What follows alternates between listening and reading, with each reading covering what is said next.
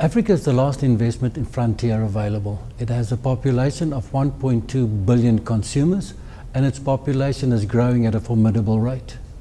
In addition to that, um, its middle class is growing strongly, which provides it with greater consumption and greater um, consumer spending.